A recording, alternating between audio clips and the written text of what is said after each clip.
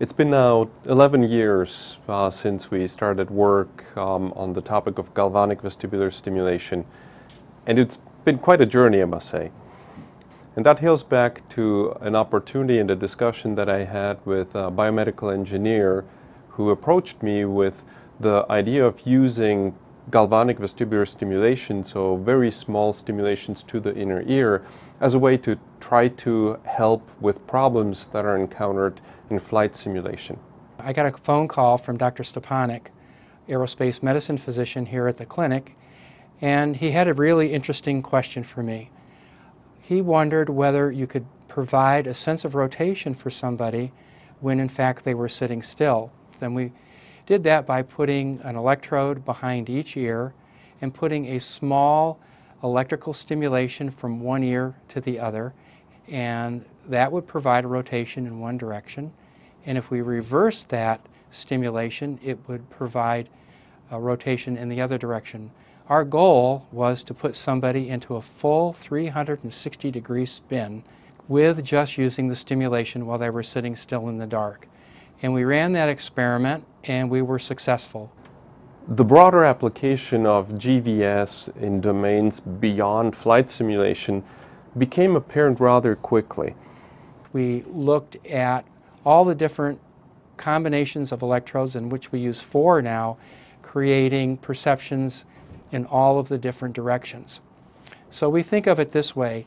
If we're going to create a rotation right to left, it's kind of like being in a merry-go-round if we create a what we call a pitch response, it's kind of like doing a somersault. And if we do a roll response, it's kind of like doing a cartwheel. So those are all the different perceptions that we can create when the person's sitting still in the chair.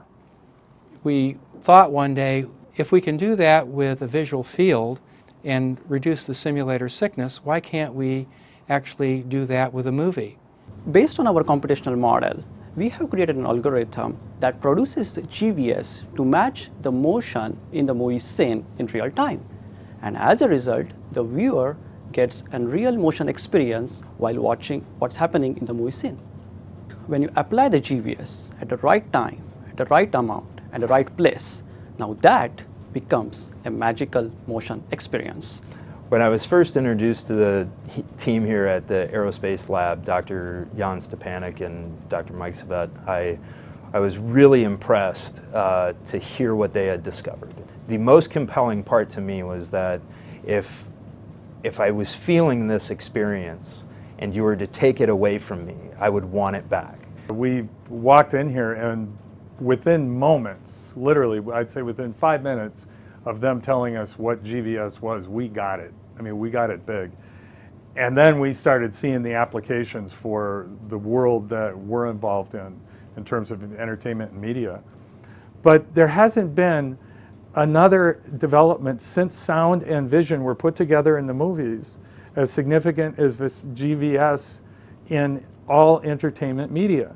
So there's this, this presence, this real presence, and that, that makes GVS the new VR. It doesn't make GVS an adjunct to make the old VR better.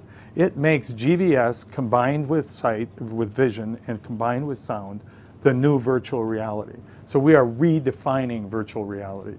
We've just begun to scratch the surface and there's a lot of work to be done before we can say this is how much of what in order to treat XYZ disease.